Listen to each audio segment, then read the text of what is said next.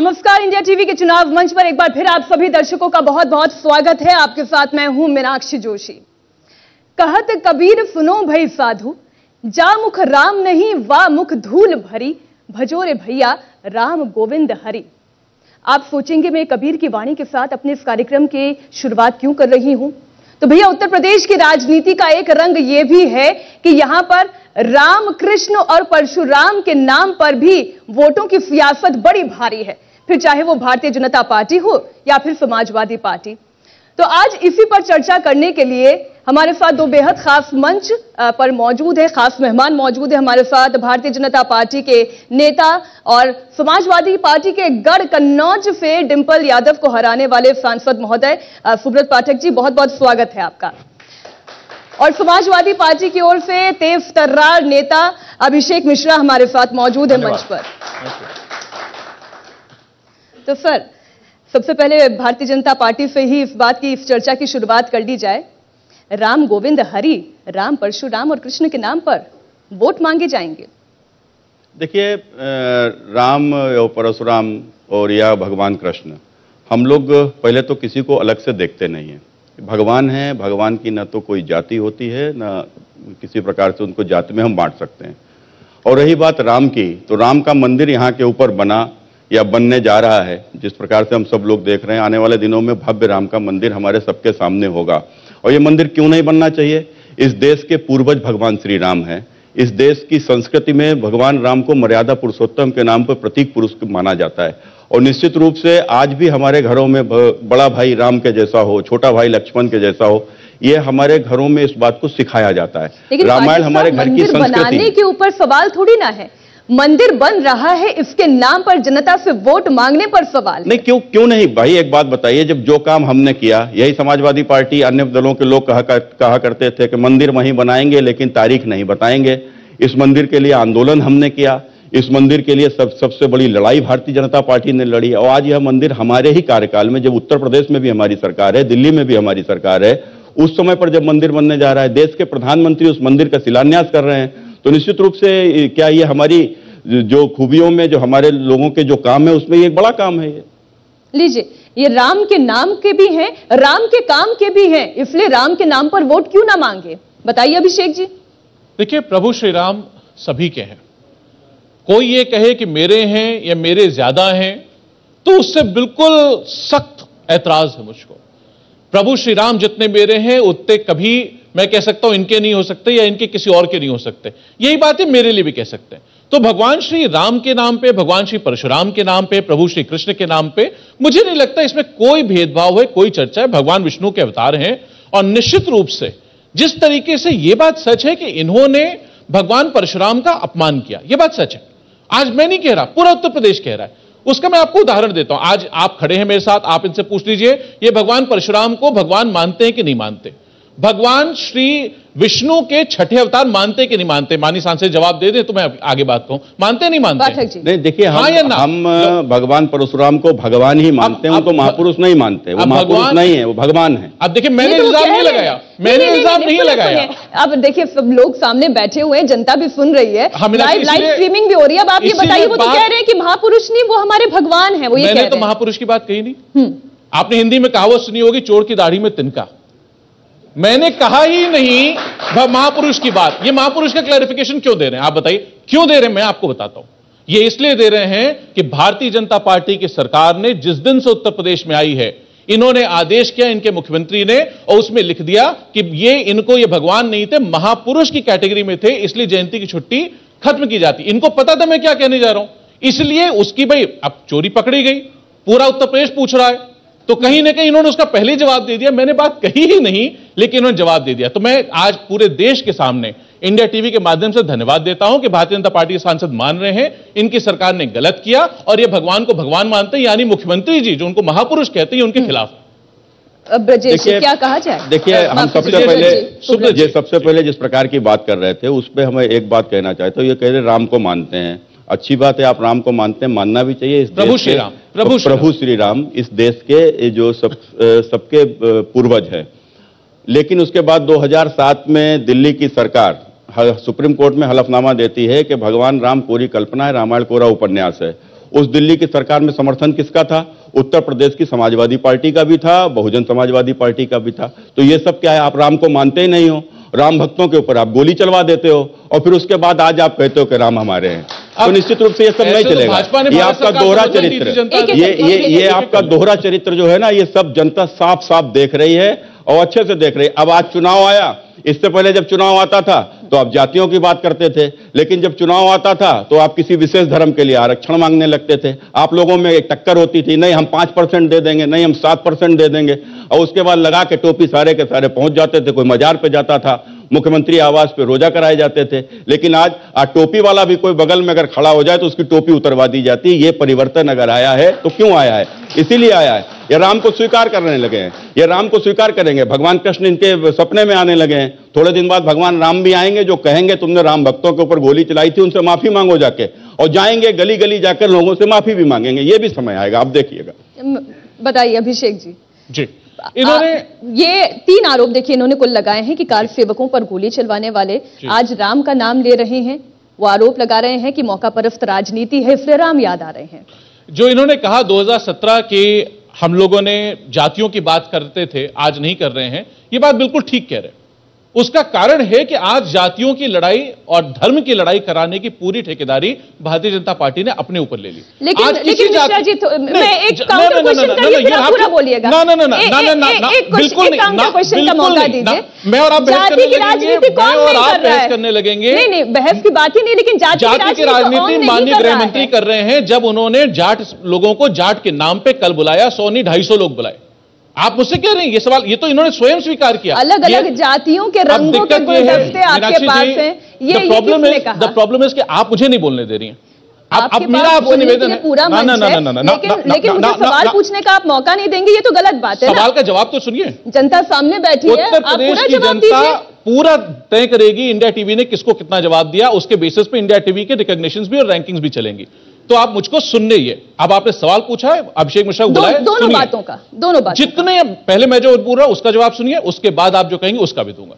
इन्होंने जो बात कही मैं बिल्कुल सहमत हूँ आज जातियों को लड़ाने का काम पूरी ताकत से भारतीय जनता पार्टी कर रही मैं आप ये बताओ उत्तर प्रदेश के चुनाव में देश का गृह मंत्री जाटों की अलग से बैठक बुला रहा है और जिस जो अलायंस पार्टनर हमने तो इनके अलायंस पार्टनर कभी ओपन ऑफ़र नहीं दिया कि तुम हमारे पास आ जाओ। आज ही से हॉर्स ट्रेडिंग की भूमि की नींव रखने की कोशिश कर रहे हैं। आज ही से तोड़ने की कोशिश कर रहे हैं। आज ही से ऑफ़र दे रहे चुनाव के बाद जो होगा, कोई बात नहीं, तुम तब हमारे पास आ जाना। अब इन्होंने गलती कर दी। ये डेमोक्रेसी का तरीका है। ये जिम्मेदार लोगों का तरीका है। ये देश का गृह मंत्री कह रहा है। आप कैसी बात कर रहे हो? कैसी राजनीति कर रहे हो? पूरा हिंदुस्तान देख रहा है कैसी राजनीति आज भारतीय जनता पार्टी कर रही है। और सिर्फ़ इस डर से कि उनको समझ में आ गया है, उनके पास रिपोर्ट आ गई है आईबी की और बाकी इंटेलिजेंस एजेंसीज की, कि उत्तर प्रदेश का चुनाव हारने जा रहे हैं। आपने मुझे खुशी है, आपने जो पीछे अपना बैकग्राउंड बनाया। मैंने देखा इसको आते ही, बहुत खुशी हुई देख करके। काश इसमें से एक काम पूरा कर देते। प्रभु श्री राम की जो प्रतिमा आपने लगा रखी है यहाँ, ये पाँच साल से घोषणा है बनाने की। पाँच साल से। बनाई इन्होंने। और मैं आपको कह रहा हूँ, मैं आज नहीं, जिस दिन सुप्रीम कोर्ट का जजमेंट आया था प्रभु श्री राम के मंदिर का उस दिन मैंने कहा था ये बनाएँगे नहीं इन्हें बनाना होगा तो 2024 से बनाए पहले बनाएँगे क्योंकि तब पार्लियामेंट को चुनाव आएगा। तब माननीय प्रधानमंत्री जी अपने चुनाव से पहले बनाएँगे उत्तर प्रदेश के चुनाव से पहले नहीं बनेगा नहीं बनेगा नहीं बनेगा वो आज सच हो गया। आप रिकॉर्ड उठा के देख लेंगे तो आपको मिल जाएगा। अब मेरे सवाल का जवाब कि जाति की राजनीति कौन नहीं कर रहा है? अभी आप अपने सामने ओम प्रकाश राजभर को सुनकर गए केवट मल्ला बिंद कुर्मी निषाद मैं तो और मुझे तो इतनी जातियाँ याद नहीं है जितनी एक सांस में वो बोल गए। आप ही के सहयोगी है ना? कौन नहीं कर रहा है जाति की राजनीति? नहीं उन्होंने किस कॉन्टेक्स्ट में क्या कहा है तो मुझको नहीं पता मैं उस समय नहीं था आपके हॉल में ना मैंने टीवी देखा कि उसमें क्या चल रहा था लेकिन जहाँ जातियों की राजनीति के आप सवाल पूछ रही अगर उन्होंने जातियाँ गिनाई तो ये देश की सच्चाई है। आपने आज ना मैं नहीं मीनाक्षी जी मैं मैं मैं भी इससे खूबसूरत मुस्कुरा के दिखा सकता हूँ। सवाल ये है रहे हैं सुनिए, क्योंकि आप जानते हैं। सुनिए सवाल मैं आपका जवाब दे रहा हूँ। आपने आज कार्यक्रम रखा, किस पे रखा? ब्राह्मण राजनीति पे। आपने बुलाया, किसको बुलाया? माननीय सुब्रत पाठक को और प्रोफेसर अभिषेक मिश्रा को। क्यों बुलाया? मैं कहूँ, आप जाति की राजनीति कर रही है। मैं कहूँ, इंडिया टीवी जाति की राजनीति कर रहा है। मैं कहूँ, इंडिया टीवी जातिवाद फैला रहा है। मैं कहूँ, इंडिया टीवी जानबूझ करके जाति की घड़ा फेरा। गलत है। अच्छा, अभिषेक मिश्रा जी, नहीं, सही है गलत है। आप- आप ये- आप समाजवादी पार्टी के प्रवक्ता क्या नहीं है? टीवी क्या इंडिया टीवी जाति की राजनीति फैला रहा है? आपने मुझसे सवाल पूछा नहीं। नहीं अब आप सवाल का जवाब सुनने का भी। मादा रखिए। हाँ, हाँ, बिल्कुल आप पूरा है।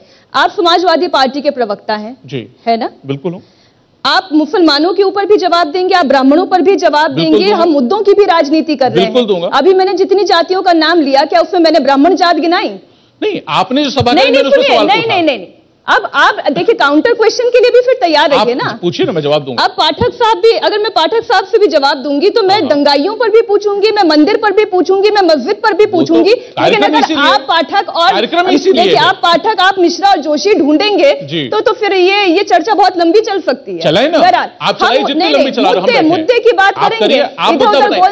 मुद्दा जवाब देता चलिए पाठक साहब। अब सवाल ये है कि वो ये कह रहे हैं कि ये जो तस्वीर भी लगी है यहाँ पर राम जी की मूर्ति अब तब लगेगी जब 2024 का चुनाव आएगा। प्रभु का मंदिर तब बनेगा। अब इनको तो बोला ना इनको तो राजनीति करनी है जीवन भर करते रहेंगे। ये राम भक्तों के ऊपर गोली चलवाते थे आज भगवान कृष्ण इनके सपनों में आ रहे हैं। तो कुल मिलाकर ये परिवर्तन है और धीरे धीरे आएगा। रही बात मंदिर बनना वहाँ के ऊपर कोई छोटी मठिया नहीं बनने जा रही है। एक भव्य श्री राम का मंदिर है वो 500 साल बाद बनने जा रहा है। कितने लोगों के बलिदान के बाद बनने जा रहा है वो मंदिर क्या साल छह महीने में बन जाएगा क्या? और निश्चित रूप से उसके लिए साफ़ तय हुआ कि भारत सरकार कोई पैसा नहीं देगी। उसके लिए उत्तर प्रदेश की सरकार कोई पैसा नहीं लेगी। समाज के लोगों से पैसा इकट्ठा किया गया। दस दस रुपए लोगों ने अपनी आस्था के साथ में दिया है और नहीं, उसके नहीं, बाद जब पैसा आया तो उसके बाद वहाँ काम शुरू हुआ। काम शुरू हुआ आज आज आज काम कहाँ पहुँच गया है? हमें लगता है आज अभिषेक जी को वहाँ जाना चाहिए और जाके देखना चाहिए भगवान राम के दर्शन करना चाहिए थोड़ा सदबुद्धि आएगी इन लोगों को।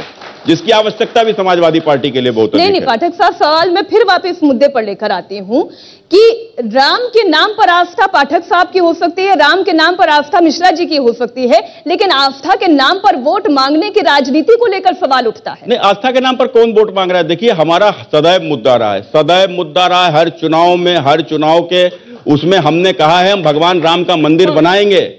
और हम भगवान राम का मंदिर बना रहे हैं तो हम ये हमारी उपलब्धि है। इसको क्यों नहीं कहेंगे हम? जनता के बीच में कहेंगे जनता वोट करती है जनता ने उस आंदोलन में भागीदारी की है जनता के हज़ारों लोग उसमें उस आंदोलन में उन्होंने अपने प्राण तक दे दिए हैं। तो आज हम राम मंदिर की बात नहीं करेंगे तो कौन करेगा राम मंदिर राम मंदिर से आगे बढ़ते क्या राम मंदिर की बात वो करेंगे जो गाजियाबाद में हज हाउस बनवाते हैं वो तो कभी नहीं बात करेंगे। राम अच्छा, मंदिर की बात तो ही है है। कि ये ये तो आपने भी देखा होगा योगी आदित्यनाथ जी ने एक ट्वीट किया था उसमें उन्होंने कहा कि आप हज हाउस बनाते थे हम हिंदू समाज के लिए कार्यक्रम करवा रहे हैं अलग अलग तरीके की सारे उन्होंने उसमें चाहे राम मंदिर का ज़िक्र हो चाहे अ, मंदिरों का ज़िक्र हो वो तमाम चीज़ें काशी कॉरिडोर का ज़िक्र हो सब कुछ उन्होंने जोड़ लिया। अच्छा कि आपने माननीय मुख्यमंत्री जी के ट्वीट की चर्चा की। मुझे माननीय मुख्यमंत्री जी का एक ट्वीट याद आ रहा है जिसमें उन्होंने जो नौकरियाँ दी गई थी उत्तर प्रदेश में उस पर ट्वीट किया था। हम्म। एक लेखपाल का वीडियो डाल दिया था जिसपे उन्होंने मुख्यमंत्री जी ने। और जब पता चला तो यह पता लगा कि भारतीय जनता पार्टी की पाँच साल की सरकार में एक भी लेखपाल भर्ती नहीं हुआ। वो लेखपाल एक्चुअली जो भर्ती हुआ था जो दमदार सरकार पता नहीं क्या क्या कह रहा था वो एक्चुअली समाजवादी पार्टी की सरकार का भर्ती था। और बाद में मुख्यमंत्री जी को वो ट्वीट डिलीट करना पड़ा था। इसी तरह मुझे एक और डिलीट अब मुझे एक और ट्वीट की ज़िक्र कर लेने दीजिए। एक और ट्वीट का मुझे याद आ रहा है जब पूरा देश पूरा दुनिया नौकरियों से जूझ रहा था कि नौकरियाँ नहीं मिल रही हैं। कोविड एकदम पीक पे था चरम सीमा पे दुनिया में लॉकडाउन था। देश में भी कुछ लोग खड़े हुए टीवी पर अचानक लॉकडाउन लगा दिया गया। उस समय भी एक ट्वीट आया था कि एक दिन में उत्तर प्रदेश की सरकार रिकॉर्ड बनाने जा रही है सवा करोड़ नौकरियाँ देने जा रही है। एक दिन में। जून में आपने बहुत दिखाया था इंडिया टीवी ने बड़ी कृपा की थी उस समय। नौकरियाँ नहीं रोज़गार की बात कही अच्छा। थी सवा करोड़ लोगों को रोज़गार देने जा रहे हैं। अच्छा। तो अब अब हो सकता है शब्दों में फेरबदल हो रहा हो, वो कोई बात नहीं। लेकिन कहाँ है वो सवा करोड़ रोज़गार? कहाँ है वो किसको, किस, कौन सा बजट दिया गया? कौन सा अपॉइंटमेंट लेटे जा उस दिन मुख्यमंत्री जी ने कार्यक्रम किया, बाकायदा, जिसमें सबने कवर किया था, सिर्फ़ आपने नहीं, सबने कवर किया। और उसमें कोई अपॉइंटमेंट लेटर जारी नहीं हुआ कोई बजट नहीं दिया गया किसी को पेंशन नहीं मिली किसी को उसका एक रुपया नहीं मिला। आज तक किसी के अकाउंट में एक रुपया उस, उस घोषणा का नहीं गया जो सवा करोड़ नौकरियाँ एक दिन में दी गई थी। और आज जब पूछते हैं कितनी नौकरियाँ तो कभी कहते हैं तीन लाख कभी कहते हैं चार लाख कभी कहते हैं साढ़े चार लाख से पहले एक सेशन और अ, मैंने ही होस्ट किया था। उसमें भारतीय जनता पार्टी के प्रवक्ता ने तो नौकरियाँ गिना दी। उन्होंने कहा कि हमने तो चार लाख नौकरियाँ दी। आप अपने शासनकाल में बताइए कितनी नौकरियाँ दी। माफ़ कीजिएगा जवाब नहीं दे पाए थे समाजवादी पार्टी के प्रवक्ता। लेकिन आप बता दीजिए। वही जो सवा करोड़ जिस दिन ये गिना देंगे सवा करोड़ इन्होंने इनको यहाँ यहाँ दी तो उस दिन इनको समझ में आ जाएगा कि समाजवादी की अपने आप ज़्यादा है।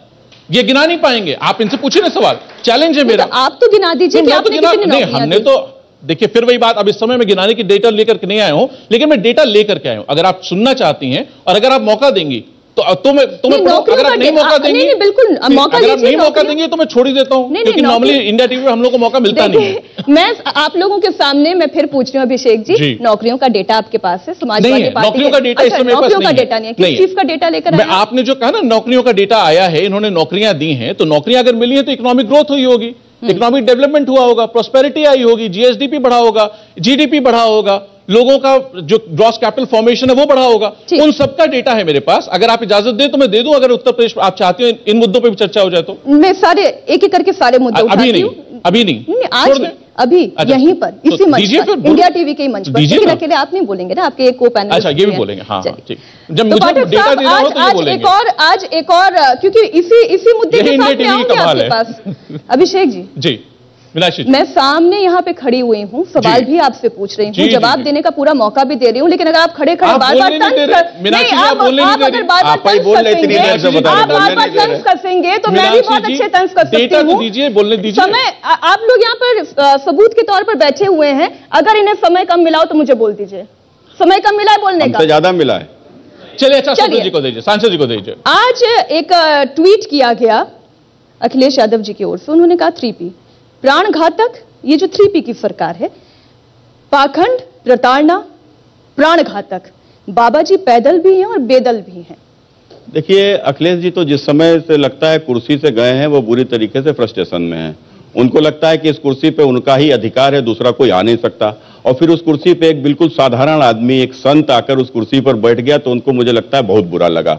और जिस प्रकार की प्राणघातक बात कर रहे हैं, प्राणघातक सरकार किसकी थी? किसने सरकार में माफियाओं को संरक्षण दिया जाता था? किसकी सरकार में माफिया विधायकों तक की हत्या करा देते थे? क्या कृष्णानंद राय की हत्या भूली जा सकती है? एक ही दिन में 300 से भी अधिक गोलियाँ मारकर उसका हत्या हुई और चोटी काटकर मुख्तार अंसारी को दिखाने भेजी गई कि हाथ वही मरे हैं। राजू पाल प्रयाग की सड़कों के ऊपर दौड़ा दौड़ाकर वह व्यक्ति इसलिए मार दिया जाता है कि वह अतीक अहमद के भाई के खिलाफ चुनाव लड़ता है। आखिर इतना माफिया की हैसियत अगर उत्तर प्रदेश में हुई तो किसके कारण से हुई? किसने संरक्षण दिया? किसके समय पर दंगा होता था? रोज हम अखबार खोलते थे तो आज यहाँ दंगा हुआ, कल वहाँ दंगा हुआ। आज इतने मर गए, उतने मर गए। यहाँ कर्फ्यू लगा, वहाँ कर्फ्यू लगा। किसके समय पर प्राण घातक था? आज जब वहाँ के पचास हज़ार रुपए की लूट के लिए भी कट्टा निकालकर गोली मारकर चला जाता था, ढूंढा नहीं जाता था, इसलिए कि वे फ़ोन पहुँच जाता था किसी बड़े नेता का पश्चिम में। पश्चिम में रात में रोडें बंद कर दी जाती थी कानवाई चालू हो जाती थी कि दस बीस गाड़ियाँ साथ जाएँगी, एक अकेली गाड़ी न जाए, न सामने लूट जाएगी। लूटने वाले कौन होते थे? उन्हीं के लोग होते थे। कौन उनके ऊपर एफआईआर लिखेगा? मेरे यहाँ तो कन्नौज में यहाँ तक हुआ कि एक लूट करने खुद स्वयं इंस्पेक्टर कन्नौज में गया, जो कि विशेष जाति का था, उस समय संरक्षण प्राप्त था। यह प्राण घातक था, जिसके लिए उत्तर प्रदेश में विदा किया। जब भी कांवरियों की यात्रा निकलती थी वो हर हर बम करके जाते थे तो उनके ऊपर पत्थर बरसाए जाते थे। कोई साल ऐसा नहीं जाता होगा जिसमें कांवरियों की हत्या ना होती हो।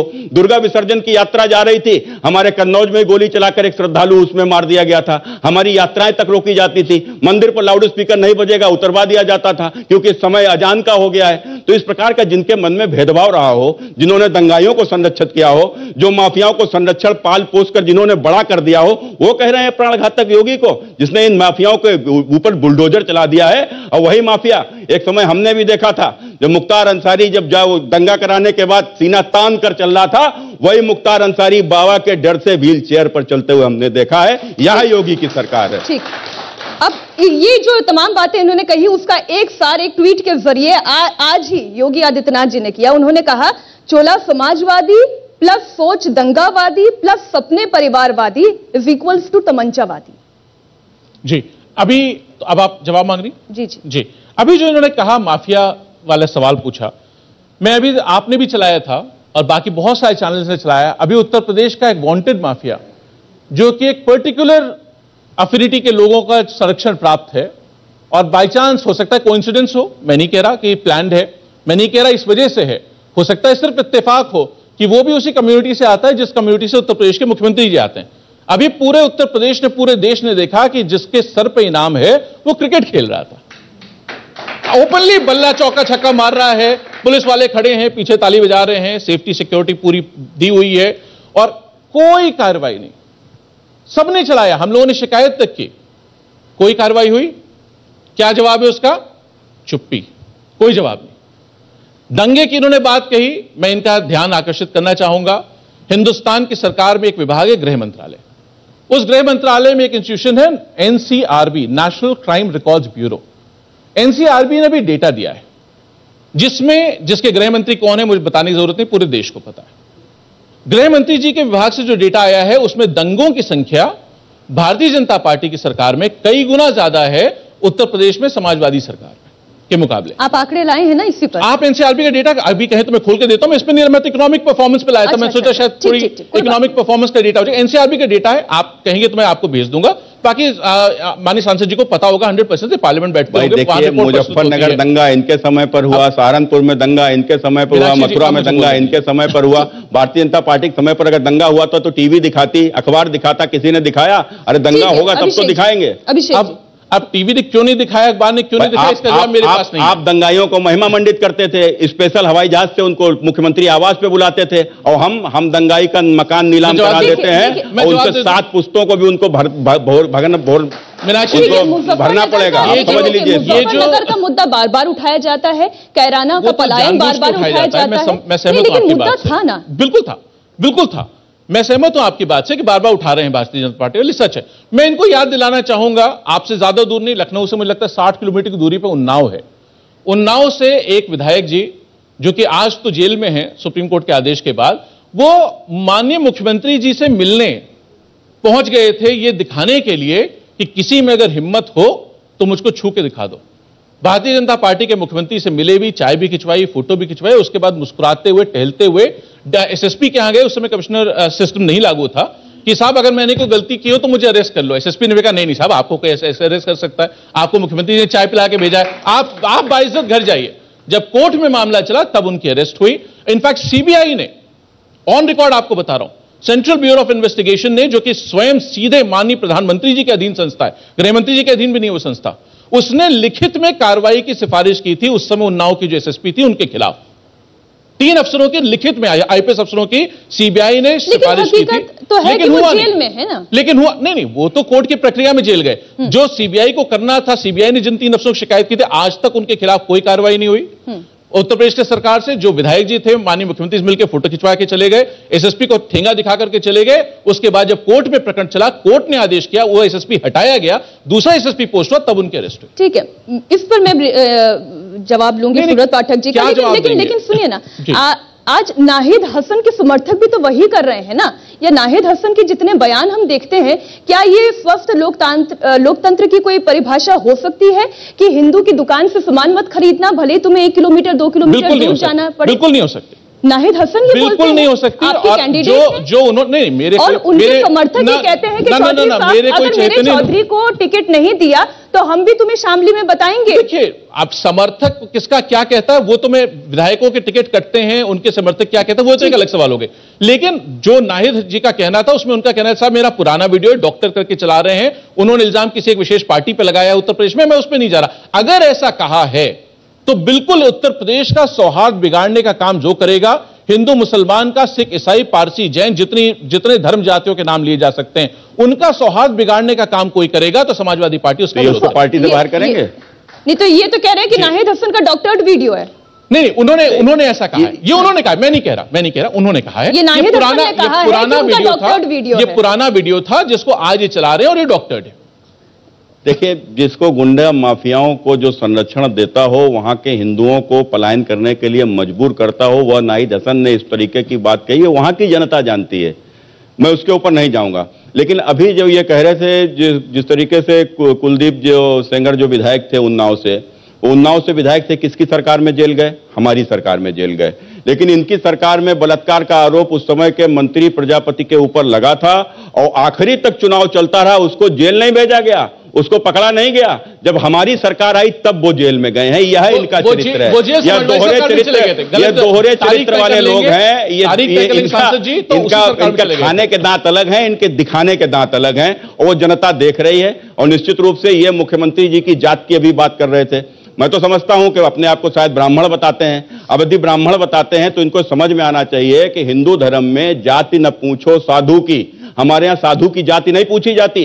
यदि साधु की जात पूछी जाती होती तो वाल्मीकि की लिखी हुई रामायण हमारे घर में कभी नहीं पूछी जाती। लेकिन उसके बावजूद भी आज ये संत की एक जाति बता रहे हैं और वह संत जिस उसको नाम पता नहीं हम लोग तो नाम भी नहीं जानते थे तो ढूंढ लाए पता नहीं बिस्ट बिस्ट क्या नाम जो भी उनका नाम हो हम लोग नहीं जानते। नाम ही नहीं पता। ले हाँ नहीं हमें आवश्यकता नहीं हम उनको योगी जानते हैं कि वो योगी हैं और जिस जिस व्यक्ति ने दस वर्ष की उम्र में अपना घर त्याग दिया हो अपने देश धर्म संस्कृति की रक्षा के लिए जिसने अपने आप को मंदिर में समर्पित कर दिया हो और जिसने विवाह ना किया हो अपना अपना परिवार ना बनाया हो अपने कर्तव्यों के पालन के, के लिए जो अपने पिता की अंत्येष्टि में ना गया हो उसका काहे का परिवार? और भैया जिसका परिवार ही नहीं उसकी काहे की जाति? क्योंकि परिवार के बाद जाति आती है परिवार पहले आता है। तो जिसका परिवार ही नहीं उसकी जाति काहे की? आज भी लोग जानते हैं जिसकी सगी बहन मंदिर में पत्तल बेचने का काम करती है जो खुद पाँच सौ रुपए के कपड़े पूरे शरीर पे जिसके नहीं होंगे प्लास्टिक की चप्पल पहनता है वह उत्तर प्रदेश का मुख्यमंत्री है और उसकी यह जाति बताते हैं। अच्छा, तो निश्चित रूप से इनकी किस मानसिकता के लोग हैं ये समझ सकते हैं। पहनने वाला यदि मुख्यमंत्री बन जाता है तो इसमें आपत्ति किस बात मैंने मुख्यमंत्री जी की जात पे कमेंट नहीं किया था।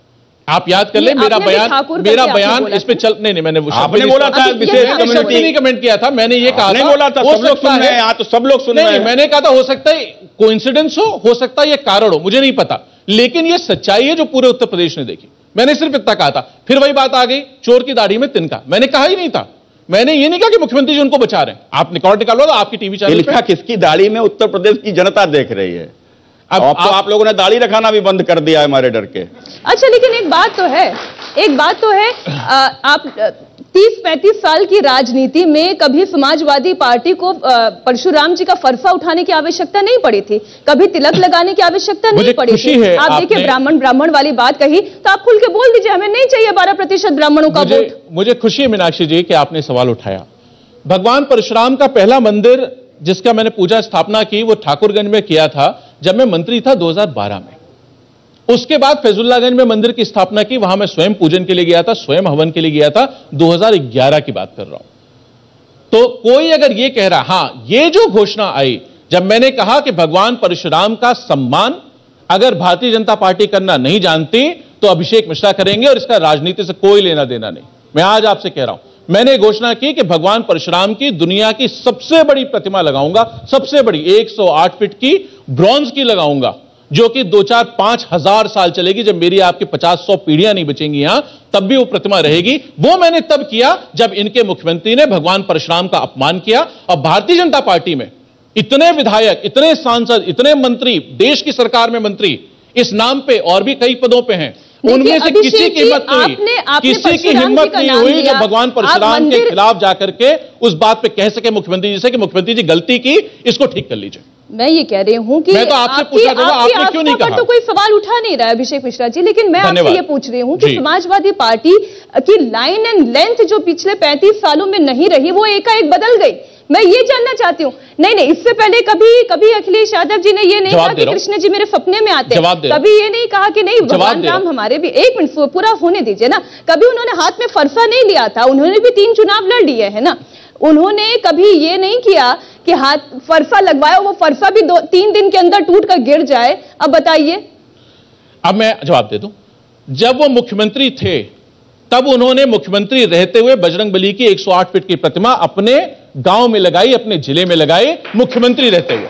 जब वो मुख्यमंत्री थे, मुख्यमंत्री रहते हुए प्रभु श्री कृष्ण की प्रतिमा लगाई, उसका चक्र लगाया, आज भी स्थापित है, दोनों प्रतिमाएँ आप अगर अभी भेज दें किसी को, आपका तो बहुत बड़ा नेटवर्क है, बहुत बड़ा चैनल है, अभी चला जाए सैफई में तो हमारा आपका प्रोग्राम खत्म होने से पहले पहले उसकी फ़ोटो आ जाएगी, वरना मुझे बताएँ तो मैं किसी को कह दूँगा व्हाट्सएप कर देगा, आपको दिखाई पड़ जाएगी। हम लोगों ने ये जो बात कहते ना कि अब याद आया, अरे भगवान क्या तो पूछ भी रहे हैं कि मथुरा मथुरा में कृष्ण मंदिर का क्या क्या मैं व्रत नहीं रखता? या मेरी मेरी माँ निर्जल व्रत नहीं रखती। या मेरी पत्नी निर्जल व्रत नहीं रखती? लेकिन निर्जल व्रत रख करके उसकी फ़ोटो हम नहीं डालते ये बात सच है। हम लोग भगवान की पूजा करते हुए फ़ोटो नहीं डालते बात सच है। अपनी माँ का साहब जवाब दीजिएगा, अपनी माँ का दर्शन अपनी माँ अपनी माँ का पैर छूने के लिए सड़क के बाहर कुर्सी नहीं लगाते कि मीडिया कैमरों के सामने बैठ करके अपनी माँ का पैर छू लें घर के अंदर पैर छूते हैं। अपनी नब्बे साल की माँ को ये नहीं कहते डिमोनिटाइजेशन के लिए लाइन में लग जाओ और पाँच सौ रुपए निकाल लाओ। खुद तो नहीं गए अपने लिए पैसा निकालने। माँ को क्यों भेज दिया? मेरी नब्बे साल की माँ होती तो मैं पहले उसके लिए पैसे निकाल केवल पूजा करते नहीं है उसको दिखाते भी हैं फिर उसका प्रसार प्रचार करते हैं फिर उसके नाम पर वोट मांगते हैं। लेकिन मैं आपका थोड़ा सा एक एक मिनट और आपका लेकर मैं जरा उनके पास जा रही हूँ। मुझे एक बात बताइए वो बोलते हैं ना हरनाथ यादव जी ने पूछा ट्वीट करके कि कृष्ण भगवान सपने में आए थे तो बोला कि मेरा भव्य मंदिर बनाओ। बताइए मथुरा में बनवाएँगे? जिस तरीके से प्रभु श्री राम मंदिर में सुप्रीम कोर्ट का जजमेंट आया है उस तरीके से जो सुप्रीम कोर्ट में वो भी प्रकरण है क्योंकि सबजुडिस मैटर है।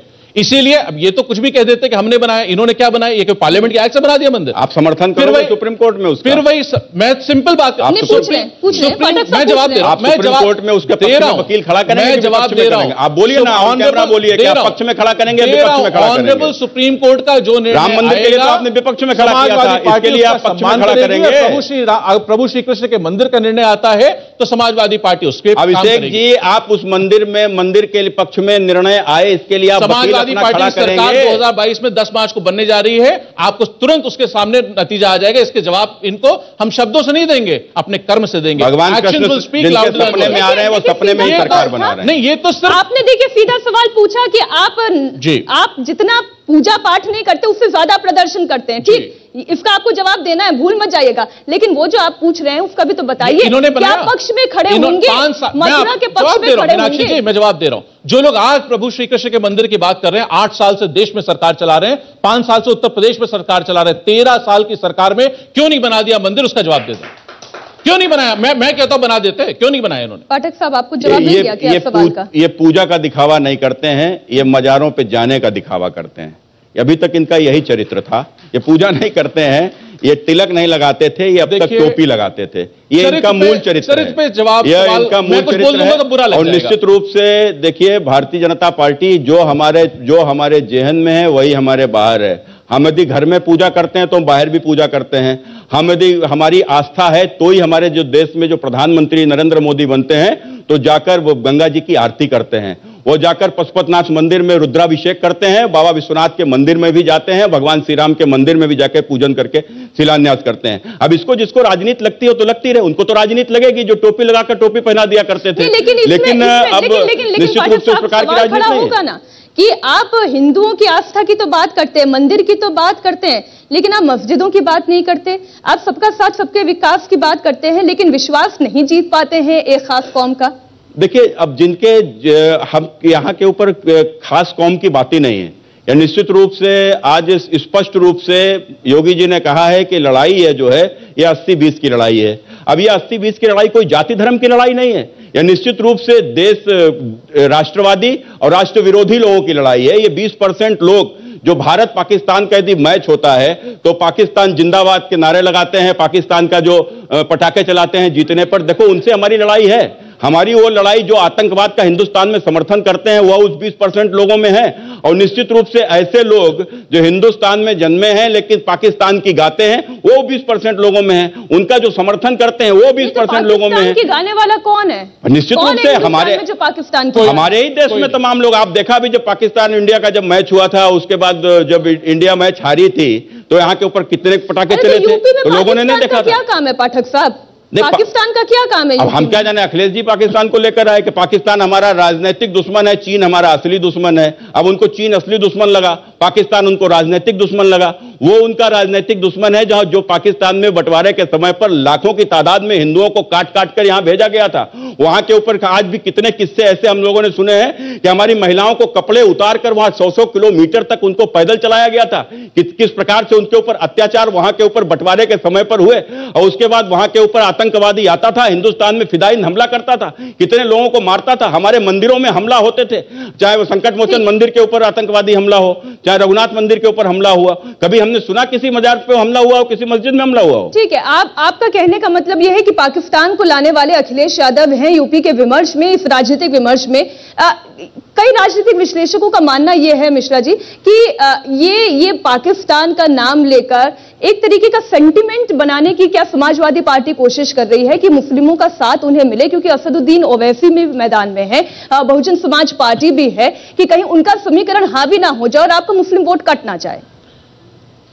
मैं आज आपके मंच से पूरे देश से कहना चाहूँगा, पूरे उत्तर प्रदेश से कहना चाहूँगा कि इससे दुर्भाग्य का दिन हिंदुस्तान की संस्कृति में, हिंदुस्तान की राजनीति में नहीं हो सकता, जहाँ एक मुख्यमंत्री सीधे सीधे 80 और 20 की बात करता हूँ।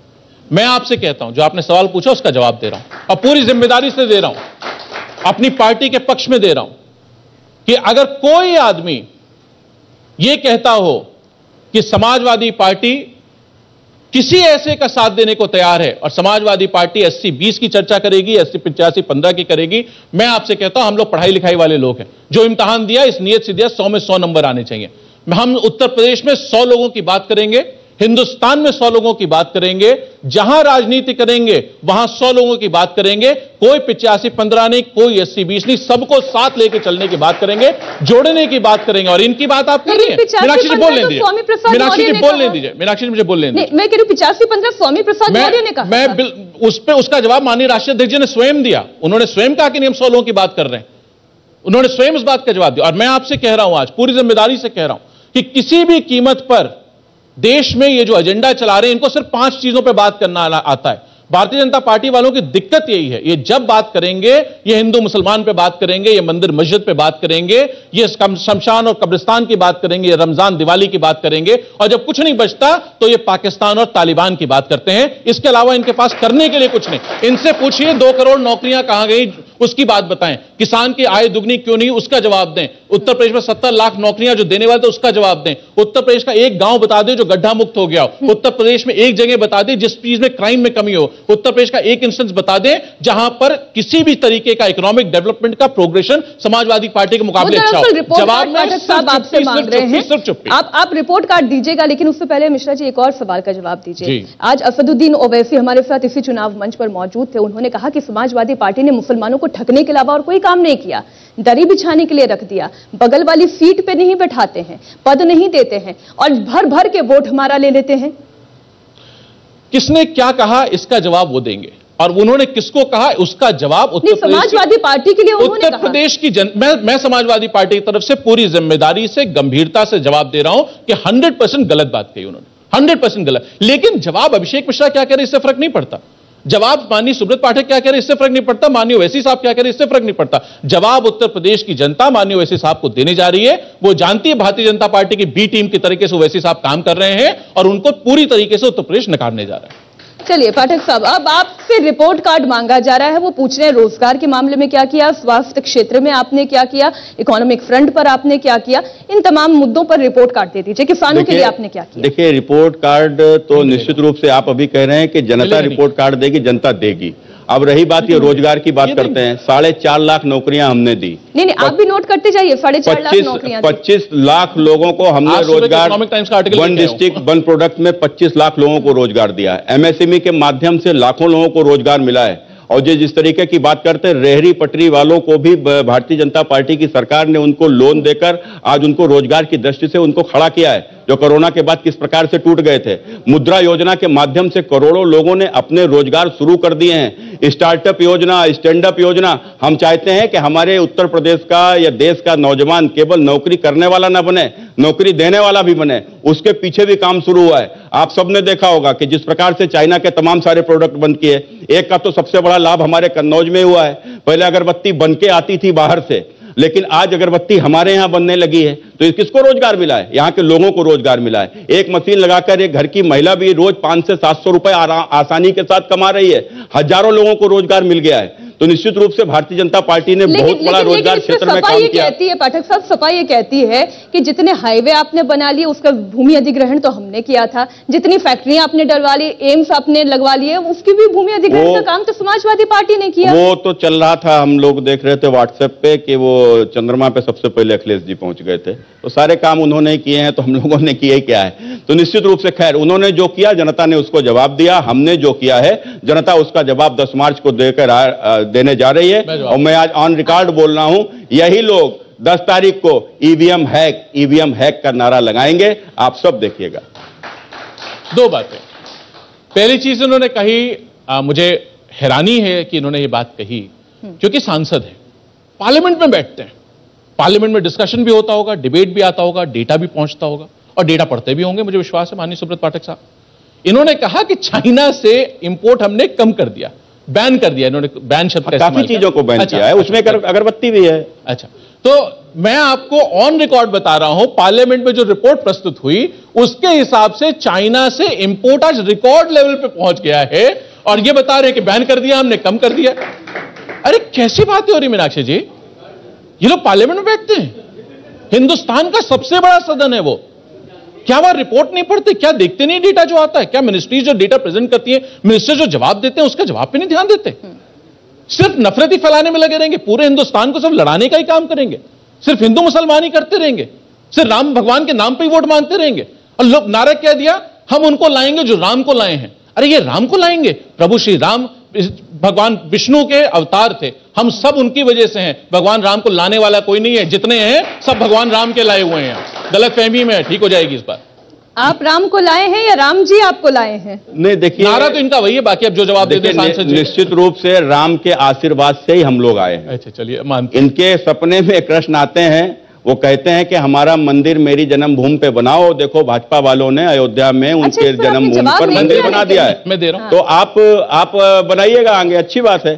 तो कुल मिलाकर स्पष्ट रूप से देखिए राम यहाँ पर कोई मुद्दा नहीं है और निश्चित रूप से हमने पहले कहा हमारे लिए आस्था का विषय भगवान श्री राम है थे और हमेशा रहेंगे। और निश्चित रूप से भगवान राम के आशीर्वाद से ही भारतीय जनता पार्टी बनी है। उनके ही आशीर्वाद से भारतीय जनता पार्टी बड़ी हुई है। उनके आशीर्वाद से आज भारतीय जनता पार्टी का इस कदर माहौल बना। आज उत्तर प्रदेश में भारतीय जनता पार्टी की सरकार नहीं होती, समाजवादी पार्टी की सरकार होती। मैं दावे से इस बात को कह रहा हूँ सुप्रीम कोर्ट से आदेश आने के बाद भी मंदिर नहीं बनने दिया जाता। और यदि कहीं गलती से ये लोग आ गए तो ये मंदिर नहीं बनने देंगे क्योंकि इनके यही नहीं, गली गली व्हाट्सएप चल रहे हैं। ये जा जाकर विशेष धर्म के लोगों को बता रहे हैं कि हमारी सरकार बनवाओ हम मंदिर रोक देंगे। तमाम व्हाट्सएप इस प्रकार के चल रहे हैं। अच्छा। पाठक साहब लेकिन लेकिन अखिलेश यादव का तो ये ऑन रिकॉर्ड बयान है कि हमारी सरकार आएगी तो हम एक साल में मंदिर बनाकर दिखा देंगे। और उससे अच्छा जैसा बना रहे हैं। देखो ये भी कहा उन्होंने। हमने कहा ना ये ये इनके दिखाने के दांत अलग हैं इनके खाने के दांत अलग हैं। जब ये सरकार में होते हैं राम कोरी कल्पना रामायण कोरा उपन्यास का हलफनामा सुप्रीम कोर्ट में दिलवाते हैं। सुप्रीम कोर्ट में राम मंदिर ना बने इसको लेकर वकील खड़ा कराते हैं।